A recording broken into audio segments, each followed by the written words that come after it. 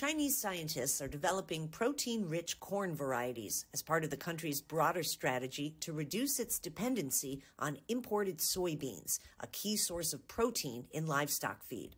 Scientists at Huazhong Agricultural University, who are developing the high protein corn, say Animals who eat higher levels of protein produce higher quality meat, eggs, and dairy products. So far, scientists have increased the percentage of protein in livestock corn from the normal 8 to about 10, but say they hope to go even farther.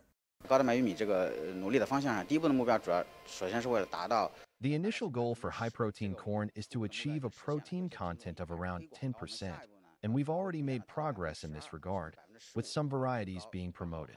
Our next target is to reach 12% to 15%, or even higher, with the longer term goal of optimizing the amino acid composition.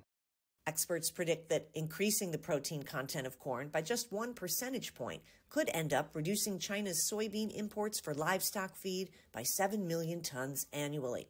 There are currently more than 660,000 hectares of 10% protein corn planted nationwide.